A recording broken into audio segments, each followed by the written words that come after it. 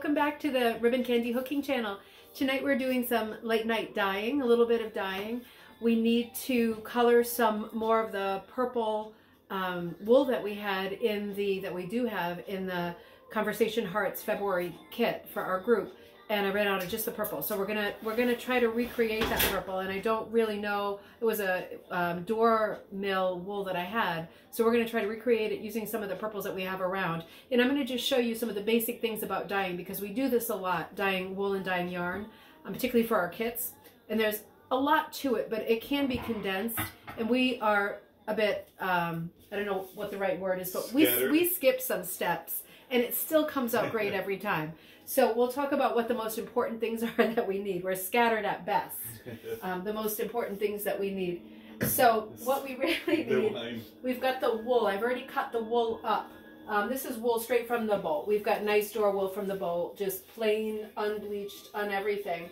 And I just cut it into 12 inch strips and ripped as we went. I just cut maybe, what do we do, like eight of these or 10 of these? Yeah, 10 of them. Um, the reason I cut them into 12 inch strips is because I make kits.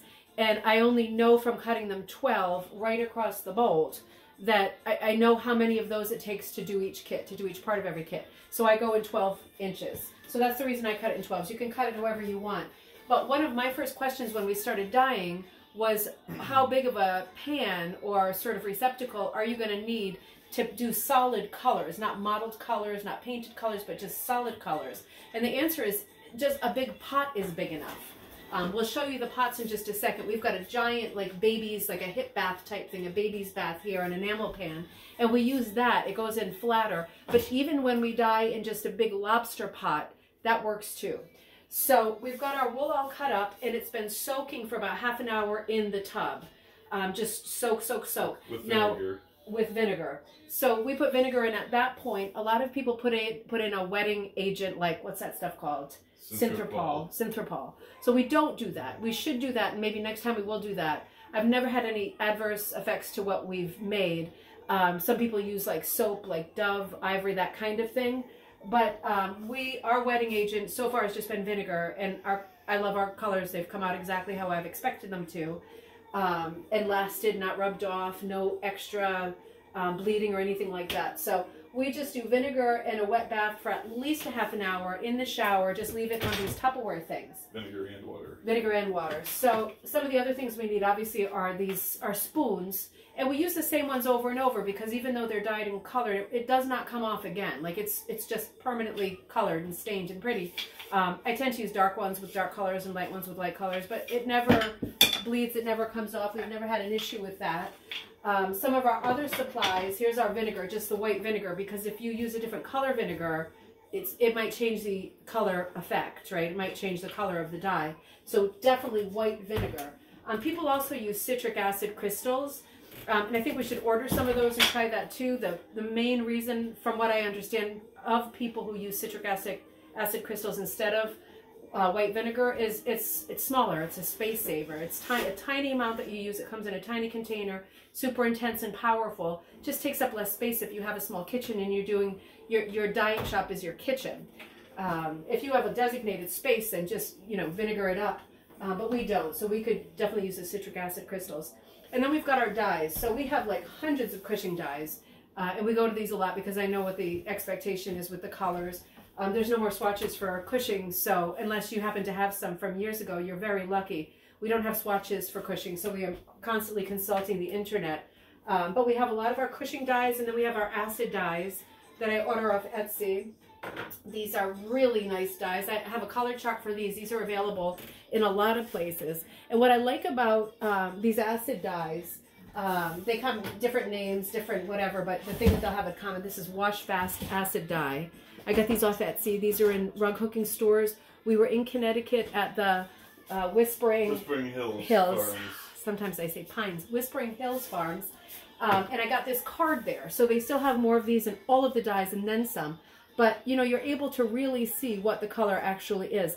And what I like about these colors over the Cushing is the brightness. So yeah, Cushing does like a hot pink, like a neon, a neon pink now, but there's just a lot of neon uh, value colors here.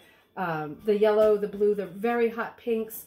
Um, these are ones, you know, the, the Cushing ones are so beautiful, soft, mellow, traditional. But some of the other brands, uh, acid brands, um, have these really bright colors with a more of a neon quality. So it just depends on what you're looking for, and you can mix them in the same bath. Like we did a yellow Cushing, like a but I think we did Buttercup the other day, and then we threw in one of these really bright ones because it wasn't quite bright enough for the candy hearts in the kit, and it came out perfect. If you have the kit, you know it came out perfect. It was the best color uh, we had. So that was a blend of the two kinds of dyes. We do measure our dyes. What do you call it? What do you call this Jigger. when you okay a jigger? See, that's a, for me a cocktail measure, but I guess it is what it is. Yeah. Um, it's got we're super technical. We do big side, little side, and I record in our recipes how many of each side we did. Um, if you are trying to match a color you've done before, you need to be very precise and serious. You can't fool around the way that we often fool around in here, just doing colors and trying to get close just for fun. We do things to put into a kit, and then we would have to be precise if we were trying to replicate it. But if I'm just doing colors for fun to work with or to sell or bundle or whatever, um, I'm not that precise. We just record what we're doing in case we love the color. Um, big side, little side. There's very tiny amounts here. This is a teeny, weensy little amount. Um, and then we've got our thermometer that, um, what, what temperature do you usually look for? 155. Okay, so he puts this part in the pot, and I'll show you that in a minute. It hooks right onto the edge of the pot. Uh, 155 is the right temperature for the dye to set. So I'm going to show you what we're doing when we actually, yeah, and we use a measuring cup too. So we know how many gallons of water we've put into our pan. We're using our enamel tub right now. And the, we'll show that part, the Yeah. pre-pan. We mix our color in one pan and then we pour it into the dyeing pan. So we, we do measure it so that I can keep an accurate record of what our recipe is if we love it. But if you're just fooling around and you're doing this for fun, just do it for fun and don't like weigh yourself down too much with details. If you're just starting out with dyeing, just do it for fun. Make sure you get the temperatures right so your colors set well and you get the best possible effect and it's not going to bleed or go, go onto your hands or the wool around it. Um, but if you're just starting this and this is for fun, make sure that it's fun. Make sure it's not like biology because that's not fun. I mean, maybe to you it's fun. To me, this is fun, fooling around. So I'm going to put you on pause for just a minute and then we're going to, actually, I'll just do this. So what we're doing now, and I might have to put this a little bit closer, is he's going to put, Jay is going to mix our color. We're trying to do the, more of that purple for the candy hearts into one container. I'm going to bring you over here. Yeah. He's gonna um, mix the color. We're, we've got the Cushing one going first. We're trying a Cushing and then we're trying one of the acid dyes because I'm not sure which color is going to be closer to the real candy lilac that we want. So he's putting um, some of the dye powder into that back pan. Right, so we're using pans that are what? Stainless steel or enamel? Galvanized. Galvanized, not stainless This- steel. No, st- this is stainless steel. Okay. And yeah, this is enamel. Enamel. So which is the one that you're not supposed to use? Well, galvanized. yeah. Yeah, okay. So pick pans from Goodwill or Savers or whatever that are either enamel is the first choice and that or restaurant quality stuff like casserole dishes, all that stuff is fine. We love this white tub and we love the white casserole dishes because you really see the color of the dye. If as you can imagine, if you're looking at um, your pan and it's like um, silver, you're not seeing the true color. But when we're looking at it against white, we are seeing the true color. So he's mixing that powder into that pan there, a very small amount. How much water is in that pan? Um, about two cups in All here. right, so a very small amount. He's just getting the color ready. Right. And then when the color is ready, he's going to pour it into our tub. And it should make a nice purple. It's not always exactly. Yep, I got it. Here we go. So we're going to pour it in there. See how much. And then I'm going to put the camera back on the table so you can see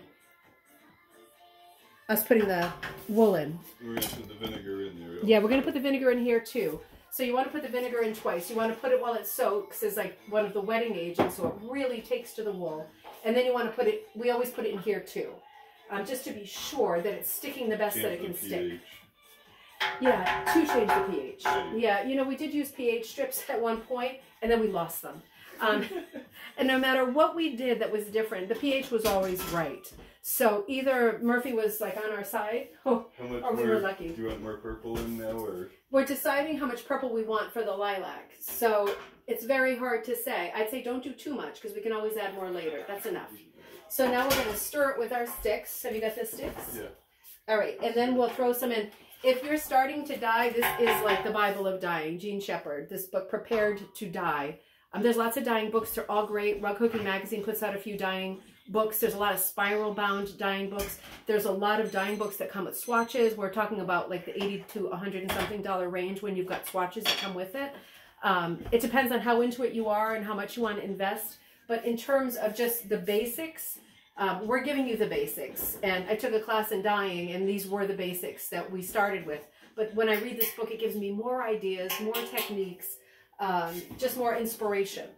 And if you're the kind of person that second guesses yourself every five seconds when you're doing something new, it's good to have a book like this to constantly refer to. You do it a couple of times and then you say, all right, I got the basic principle of it.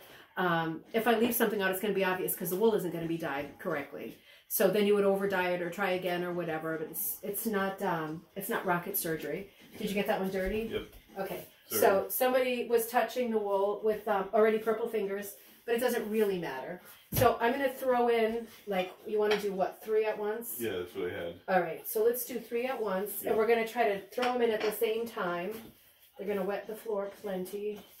So which color is this? This is the purple. This is um Cushing's bright purple. Okay, so I've got these guys here. I've got three pieces of wool, and they're not super. I'm going to drop them in Spread them a little more. Yeah, alright. Um, and start stirring right away. Uh, don't don't um, put them flat and put them in because they pack against each other and then they don't get the color. So with something this size, this tub, we put them in and then I think we're going to need more dye. And then we immediately, let's see though, Yeah. we immediately start moving it around because we don't want any to settle into wrinkles and folds and valleys. Um, so we just keep moving it around. Doesn't have to be a two-person job. It's just easier and more fun. You can see it takes it right away. Yeah, right away. So, and we don't want this that dark. Those conversation parts are not meant to be dark. I'm going to lift the camera up so we can see more into the pan. Right, so it's getting dark, and you know what? I don't think that's the right color, purple. Mm. Um, it looks too... Oh, here comes Teddy. Yeah, I'm making a video, Ted. Um, it's not a video about Five Nights at Freddy. Freddy's... It's, um, okay, so... I think this is the wrong color, purple. Alright, so go close later. So we're also using the potato masher, which is a good way to move it around. But we're going to put this on pause because I think this purple is too violet for what we want. So we're going to um, put you on pause and then we're going to take out our other purple and see if we can get any closer to the color. Okay, so I just want to show you, I unplugged us over here. Um, what's going on that's making me unhappy is we've got this purple and it's not the right purple. So it is what it is. We're going to try a different purple. But one of the um, first things that you're going to wonder and think about is um, when do I take it out of the pan? And the general rule is you let it sit for an hour. We let it sit for about 10 seconds, um, which is typically what we do, not because we're rushed, but you know, when the, the wool will soak up every bit of color. So when you look into that pan, you see it's, it's getting very, very clear for wool that's been in there for a minute, right? It's almost, almost clear. So the reason that you leave your uh, wool in there for an hour to set is also, it's, it can be a temperature thing when you're dealing with blues um, and those, those kinds of values. Um, you know, the general rule again is leave it in there for an hour. We usually, we usually don't. We leave it in there until there's absolutely no color left in the pan. And if the wool is the color that we like it or it's dark enough um, that we're happy with it, then that's the point that we make a decision to pull it out. And if we have a lot of um, dye left over in the other little pan, we save those in mason jars or squirt bottles for another time. We save our extra stuff. We even try to recycle our water as we go, pulling the bathtub water out and putting it into this pan. Otherwise, we just um, hemorrhaging water. I mean, it's just so much water. Just keep going. We'll spin it right now. Okay, great. So I'm going to turn over here. We're going to do the next step, which is, Well, we got to rinse it. yeah, we're going to rinse it. I get the, I need the sieve. That's another thing. Okay, it's down cellar, so we'll get it. All right, we need to get the, we get a sieve, we pull the wool out next, we put it into a sieve and just rinse it out with cold water. Um, it doesn't, Gene Shepard says, and I, I, I, support everything he says because he's so much more knowledgeable than I am, but um, when people say that if you pour cold water on it, it shocks the wool and changes the color, that's never happened to me, that's never happened to Gene. Cold water, warm water, doesn't matter, I just want to be sure there's no color coming off the dye. So even this, even though this is the wrong color purple for us for this project, we're going to use this purple, and we're either going to over dye it, spot dye it, use it for Irish heather, something like the Scottish heather, something like that. So um, we're going to treat it the same way we would treat any wool because it's beautiful and it's a beautiful color. It's just not the right color. So Jay just took it out of the pan and he put it into the strainer, and we're just uh, rinsing it out. So we're rinsing it out with cold water. And I rinse it out. Can you turn the camera a little bit so it's facing me? My big butt is in there. Yep. So I take it out here, and then we have a salad spinner, um, which, if you don't know what that is, and I didn't until dyeing, um, it spins your salad, your lettuce, and it's perfect for us. Hey, Deb. So I put the, the stuff into the salad spinner. You can put a few pieces in, and it literally um, whips off, strains off centrifugal force at work. Take this money home. Teddy, get out. Um, the extra water. You feel it? Now this one we tend to use. We usually have a second Tupperware thing because this is um, open on the bottom. It strains itself. So I'm just in this case because we don't have our second one out. Just put it in the sink and then I'm just spinning it, and it's taking out. It's very very easy to spin. Um, it doesn't really matter what size you have, and you don't have to have a salad spinner that strains as well. You know, you just pour, dump it out as you go, pour it out bit by bit. This one works great, and we're loving it. We found it at a Goodwill, so we grabbed it, and it works better than our regular salad spinner. So I'm just checking it out to see how dry we are, and we're pretty dry, and the purple is quite good. The more I look at it, the more I think, is this the right color? well, we'll try another purple just in case. So this is really the last step for us. We have dyed, we had the temperature right, right? Yep. What was it again? Between 150 and 160 usually. Okay. So he had that in the pan when he was mixing the color, poured the color into the pan that we were dyeing in, immediately started stirring it around. If you want a nice even solid color, you want to stir it around quickly. And we waited for the color. You can wait an hour, official, or you can take it out when it's the right color for you and you don't want it to get any darker, or you can take it out when there's no more dye in the water, there's nothing left to soak in.